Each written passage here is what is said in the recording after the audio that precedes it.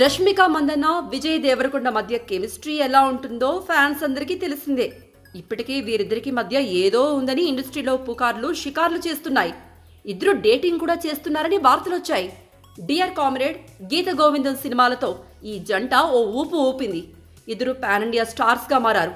విజయ్ దేవరకొండ రాబోయే చిత్రం లైగర్తో బిజీగా ఉండగా రష్మిక మిషన్ మజున్లో సిద్ధార్థ్ మల్హోత్రా సరసన నటిస్తోంది.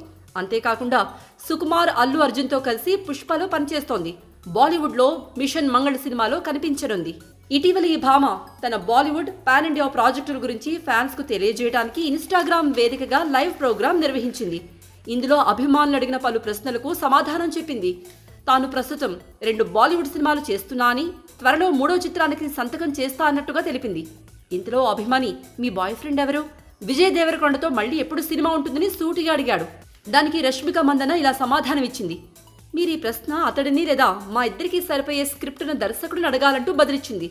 మంచి స్క్రిప్ట్ వస్తే ఖచ్చితంగా విజయ్ దేవరకొండతో కలిసి పనిచేస్తా అంది అతనితో డేట్ చేస్తారా అడిగిన ప్రశ్నకు నాకు డేట్ ఎలా వెళ్ళాలో తెలియదు. సాహసోపేత క్రీడలు ఆడటానికి మాత్రం ఇష్టపడతా అని చెప్పింది.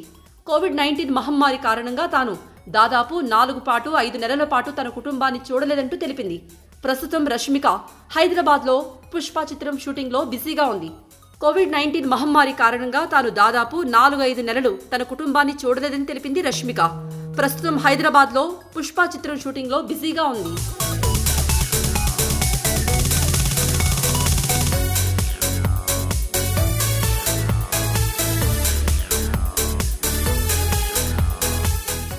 బర్నింగ్ టాపిక్ ప్రతిరోజు ఉదయం ఏడు గంటల ఇరవై ఐదు నిమిషాలకు మీ టీవీ నైన్లో నంబర్ వన్ మాత్రమే కాదు అంతకు మించి.